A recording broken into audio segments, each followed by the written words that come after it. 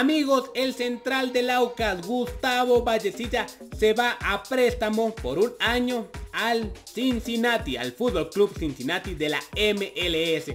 Un jugador más, un jugador más del Aucas que se va para esos parajes, para esos rumbos de Estados Unidos. Parece que tienen algún convenio, una muy buena relación. La gente del Aucas que hace poco mandó a John Espinosa, que hace poco también mandó a Alvarado y algunos más.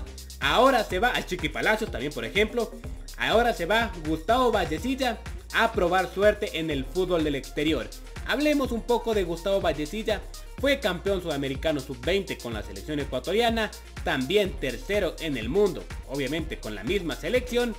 Decirles que el año pasado estuvo con el Barcelona jugando, el Barcelona lo quería retener, veía condiciones, veía cualidades en Gustavo Vallecilla, sin embargo el precio que ponía el Aucas por este central era extremadamente caro y terminó soltando a Gustavo Vallecilla porque no les alcanzaba el dinero para que se quede en el club.